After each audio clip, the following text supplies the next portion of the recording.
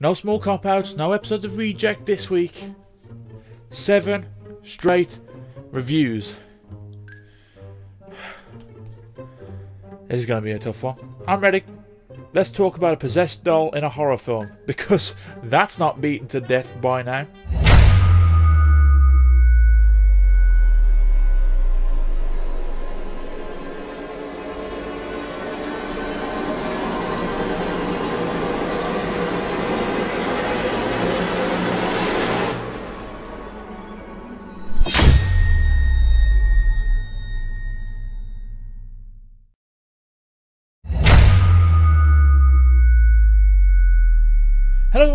Welcome to Rejected, where we either reject or rejoice in all things everything. And we're kicking off this seven deadly rejects with a film about a possessed doll. Annabelle? Child's Play? Were you expecting one of them? Well, you shouldn't be because the title says the boy, so you should have been expecting the boy. Where is the boy? The boy! So, yes, we are doing the boy we are watching the horror film called The Boy. We're not doing any boys. Yes, The Boy, from 2016, released around the same time as Don't Breathe, The Conjuring 2, and that dreadful film based off of that internet short about turning the lights on and off. And if you ask me, out of the majority of horror films that were released in 2016, if you can ask me which one did I enjoy the most? The Autopsy of Jane Doe. So why am I not doing that? And doing the boy. Well, when the trailer dropped, I lost my mind. This doll is what I would have assumed Robert would have looked like if they made a film about the factual possessed doll instead of the indie bollocks one that they've made to resemble Annabelle. I don't know about you, but I think the real Annabelle doll is scarier than the one in the film. They try too hard. The actual Annabelle doll just looks all cute and cuddly, and then the reality of it, this thing is not nice. A horror mystery thriller written by Stacey Menear. That's the type of name that sounds like someone's dropped a piece of ice down her back. What's your name? Stacey Menear. And directed by William Brent Bell, starring Lauren Cohan as Greta Evans, an American moving to England for a job as a nanny, paid to, to look after the young boy Brahms. God, give me a second. Alright, this isn't the 19th century. Greta Brahms. Well, who the fuck's coming up with these names? I understand Brahms being brought up by mature parents and all. But Greta, who the fuck gave you that name, Greta? I feel sorry for you. Brahms is the son of the Heelshires. I just, I can't, I, just, I give up with these names now. Heelshire. And the family is visited only by their delivery boy Malcolm, who looks a lot like Brahms. Or does he? Yes. Yes, he does. The Heelshires have hired Greta to take care of Brahms while they are away. But Greta soon discovers that things aren't as simple as they appear. She must follow the rules and take care of Brahms, for he can be a sneaky little fecker. But after not following them one too many times, Greta starts to believe that there may be more to Brahms than she was led to believe. The setting is this huge manor. It literally looks like a manor house. Not a mansion, but it looks like a manor house. Yet, with all this space, the film is shot as if it's claustrophobic. And that's actually one of the things I like about it. All these places that she could go within the vicinity of the building, but she's confined to it. So she's basically the, the one's trapped while having to take care of Brahms. So let's not waste any more time. Let's get into the boy. No, no, no. STX Entertainment. So this film was made by Styx, was it? And we start off with a nice little montage of creepy fucking toys. Okay, jeez, I know these. I know these guys are like mature and they might have old stuff, but fuck me, that kid, even when he was alive, he must have had fucking trouble. And here we see Greta in the back of a black cab. The driver takes a sneaky look at her. Think I've put the wrong type of film on. Greta, welcome to your new home. Nice little portrait of the Heelshires and their young boy. Nothing slowing these two randy bastards down, are they? Fuck me. Go for it, lad. See, I don't know about you, but when I first walk into a house, I know exactly what I like to do. I just like to walk to any room I want to, start playing with shit, moving shit around. Cause hell, why not? Fucking rude bitch. And here it is. Brahms is a doll. Greta laughs. Now shake his fucking hand. You can already kind of see that there's something off. You know, apart from this old couple are raising a fucking doll. I know how this must look to you, Miss Evans, and to be completely honest, I'm not sure how it all came to this. Mr. Hillshire seems a little more down to earth than his wife. And there's one thing I do like about this film. Nothing is mentioned about why these two are raising a doll. To them, it's their son. But he seems like he's going through with it all for his wife's benefit. But we can't know just yet about why they're raising a doll. Well, it definitely makes him appear a bit more human than fucking Brahms. Am I right? Here is where we start to learn a few things about Greta. Why would an American move all this way to be a nanny? Well, her friend over the phone starts talking about Greta's ex, Cole. He's been calling her non-stop asking about Greta's whereabouts, regardless of the fact that he has a restraining order. So Greta is definitely running away from something. But we will learn more as the film goes on. I'm so sorry. What is she sorry for? If Greta hasn't uh, questioned anything before, she has to be curious now. All Greta has to do is stay in the house, follow the rules, and look after Brahms. So on the first day of a job, what do you do? Gets totally shit faced and falls asleep covering Brahms with a blanket. Yeah, that'll go down well, dickhead. Hang on, did you just launch that doll into the chair? What if he broke? Imagine the Hillshires get back after their time away and go, Oh, where's our loving boy? He's here, in pieces. I threw him against the chair the first day you left. My bad. Right, there is a question here that needs to be answered right now. And I'm going to put my neck out and I'm going to ask the question. Americans, what is the appeal of peanut butter and jelly sandwiches? That just sounds rank. I'm not going to lie. Okay, what is the deal with the doll? Well, it turns out that Brahm was actually their son. Until the house caught on fire with Brahms inside, leading to his death. Shortly after, the doll appeared, as a way to cope with the loss of their child. So he died 20 years ago.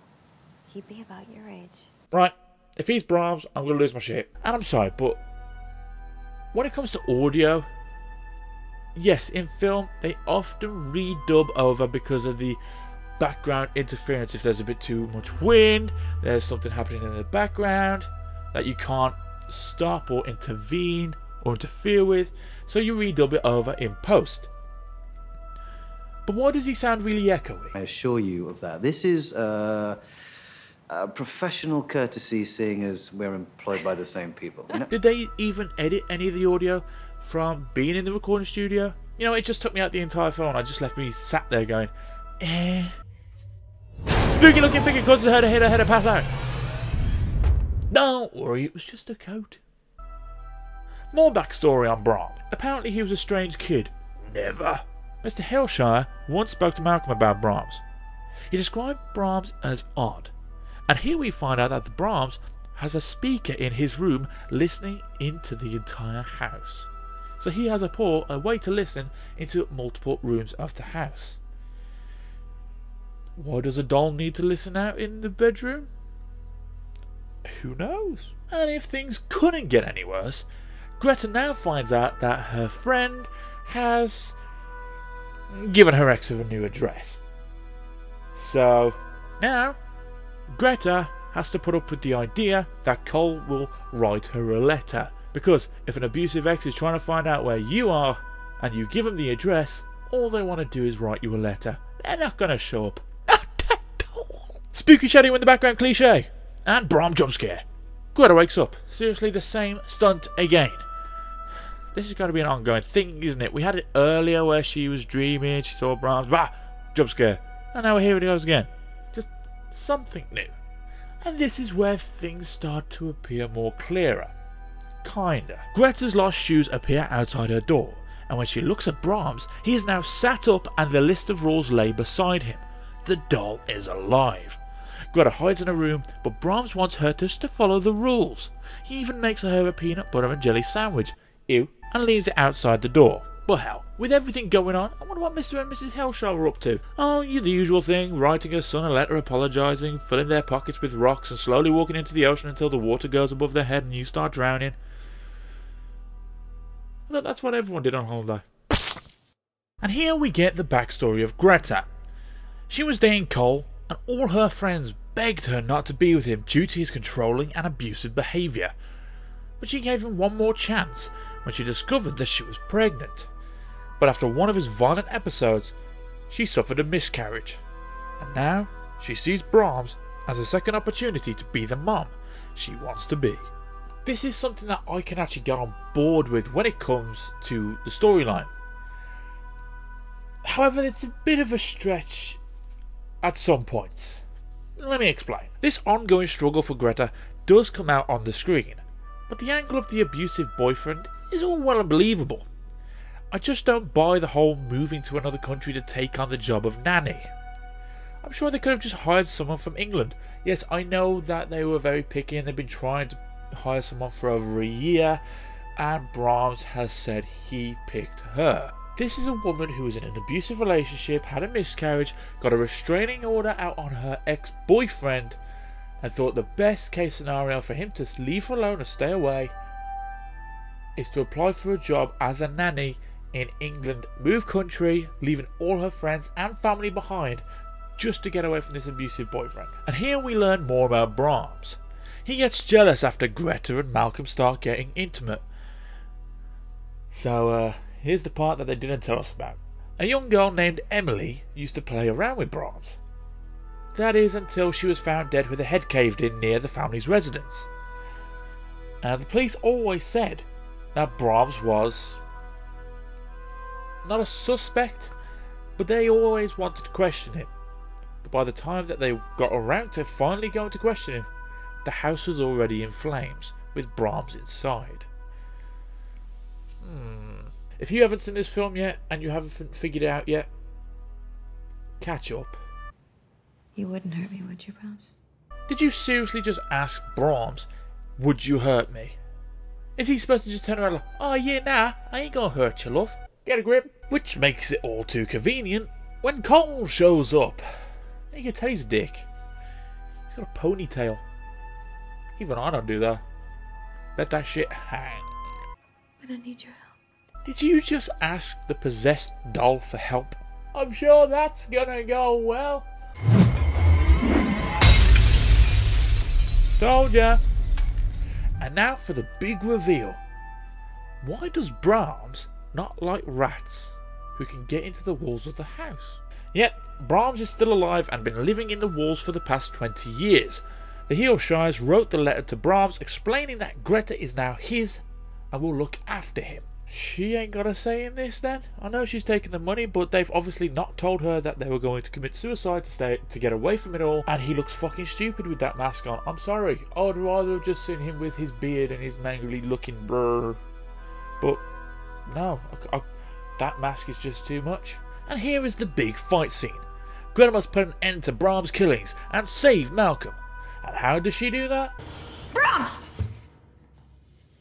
It's time for bed now. She puts him to fucking bed. Are you kidding me? Well, her intention is to get, her, get him into bed and then stab him. Which goes like a plan. She actually just stabs him, making him collapse, and Brahms is dead. Or is he? And Malcolm is still alive. Or is it? Well, that don't make sense. And they drive off, leaving the gates open and the house deserted. Or is it? This film has some good elements, yet suffers from nothing original. As I mentioned earlier, it was released the same year as The Conjuring 2, a sequel to a film that starts by reinventing the possessed doll backstory. So dolls weren't original at the time. And a twist that suffers from one problem. Now I know this is a cool visual, but after Cole smashes the doll's head, Brahms moves around the room clockwise. But how does he climb over the door frame and make it in time to get to the mirror? And hell, he started moving shit about at the frame on the wall beside the mirror he exploded from. What the fuck was the point in moving around for if you were just going to end up back where you were? For story, it wasn't original at the time it came out. And even if it was, it suffers from mediocre writing. I have to give it a 2, because it does have a twist that you don't often see much but you could you could tell. And as for execution, you do have some great actors in it. but they suffer from poor direction and repeated jump scares that just leave you in the sense of they literally just did that, why are they doing it again? That gets a 2, which leaves the boy at 4 out of 10 and gets rejected. Which is a shame. Because I remember watching the trailer for that film and thinking, this is going to be awesome. And then they done did fucked up. What did you think of this film? Leave a comment down below or check out my social media. All the links are in the description. And if you enjoyed the review, hit that like button, I'd highly appreciate it. And as always, if you haven't already, hit that subscribe button and the notification bell to never miss a review. Thanks for watching.